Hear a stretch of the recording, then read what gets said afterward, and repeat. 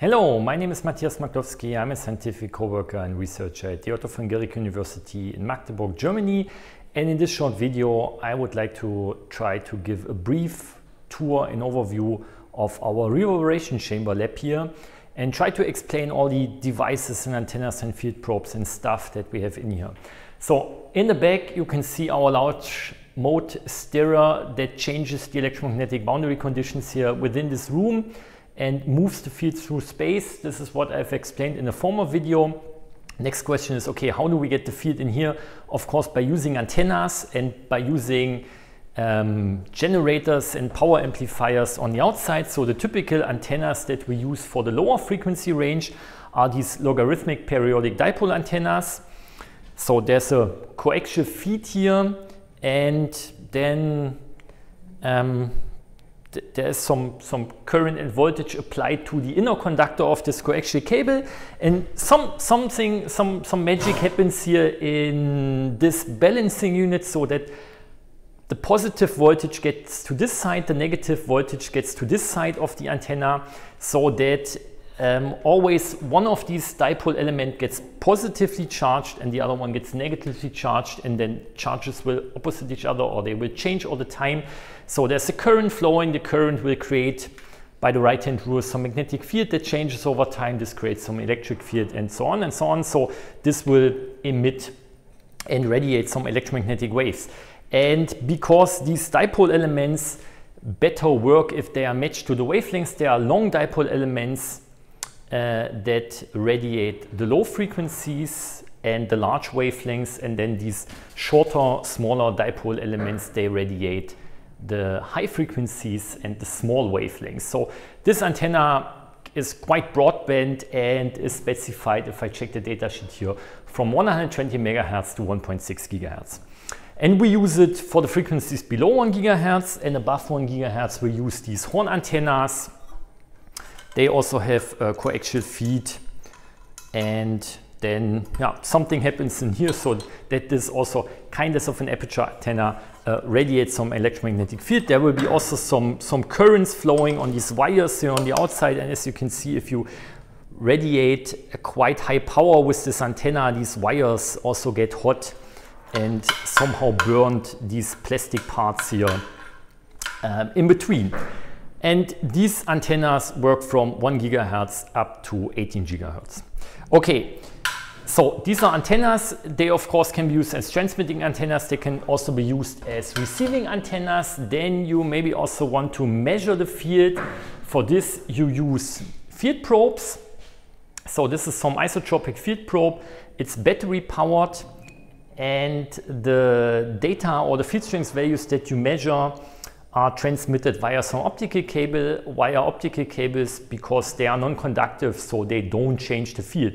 If you would connect such a field probe with a classical metallic wire coaxial cable, um, you want to measure the field at some position and at the same time you disturb the field because the cable is conducting and the boundary condition of the tangential field component along this cable would also be zero. So optical cable that does not influence the field, then of course the, this unit here where the battery is inside and, and some um, unit that converts the field strength values into some optical signals, this is also conducting, this, this neck here, this rod is conducting and that's why these field probes are also mounted in a strange way that if they are rotated by 45 degrees in this direction and then tilted by 37 point something degree upwards, that they then measure the field in X, Y and Z direction. And yeah, why this is the case um, or how, how they are built on the inside, this can be better seen on this older field probe because here it's possible to remove the head. And then you can see that there are three dipole antennas in there um, measuring the field in x, y and z direction. And why it's in a strange way, because this is also, there are also metal wires inside this part to get the um, rectified signal from here to here to this unit. And there would be also a battery in there and some connectors for fiber optics. And this introduces some mistake. And by having it in this strange way from the usual position rotated 45 degree and tilted upwards, you distribute the error introduced by this evenly onto all the three field components x, y, and z. And if you would build it like this, so this, that this would be x, y, and z, the, the, the error, the mistake in the x direction would be rather large and the mistake in the z and y direction would be rather small. And that's why to make it as isotropic as possible, these field probes are built in this way. So quite interesting. Um, then uh, what we have here in this chamber is also we have a smaller stirrer, uh, which is here standing in the back. This was also some student project, some portable stirrer that could also be used in other shielding cabins like an MRI cabin. It's driven by a quite simple stepper motor and if I go down here maybe the camera captures this by some Arduino and uh, the, the, because it's it's a bit smaller, you can also rotate it with higher speeds. Then the thing that we have here is some RFID tunnel gate, which is also kind of a small reverberation chamber. Parcels, packages with RFID tags would go in here. There's a shielding curtain. There would have been RFID readers in there reading the RFID tags, activating them, getting data from them so that you could, if you have a package, there, there's stuff in there everything has an RFID tag. Um, and we, we had tested it here. Um, and it's also, there was a small stirrer in there. It was kind of a nested reverberation chamber or a small reverberation chamber used somewhere else. Okay, what else do we have? Um, we have another reverberation chamber here, some, some metallized tent, some, some metallized textile, and some aluminum frame. So it's kind of a mobile reverberation chamber. You need about an hour with two persons, or if you're quick, maybe half an hour to set it up, mount this frame, and with rubber straps attach this tent. And then there's some, some outside and there's some inside door to have better shielding efficiency. And I will open it up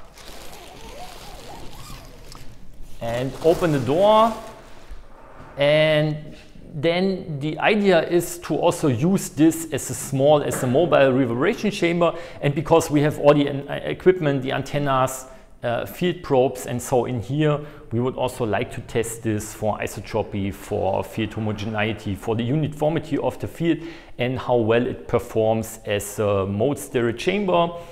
Uh, and starting from which frequency with a very small or kind of kind of small and also portable mode stirrer in there. Okay, so I would say this is more or less it what we have here in our reverb chamber. quite quite short tour. Maybe maybe some some because I, I usually give this tour of course with students in the room. People usually ask me what is what is this here? what is I, let's see if the if the camera will capture this. Uh, we, we have an additional wall here inside the chamber with lots of holes in it. And we use this wall to perform or to conduct measurements with coupling to cables, single wire cables, shield cables above this ground plane or uh, transmission line networks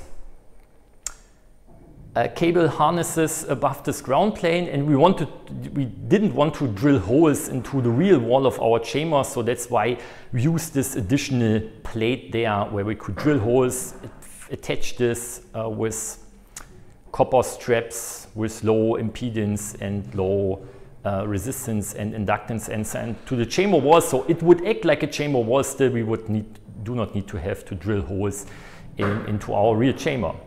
Okay, this was a quick tour of our reverberation chamber here. I hope you enjoyed it. Uh, maybe I will do some other video if you have questions and write them in the comments below this video. Bye bye.